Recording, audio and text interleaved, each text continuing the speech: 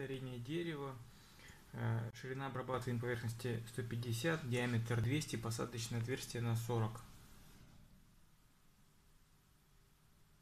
Мы также делаем щетки по нашей фирменной спиральной технологии на металлической трубке, но эти щетки сделаны на пластиковой трубке. Они ровно в два раза короче, чем R300.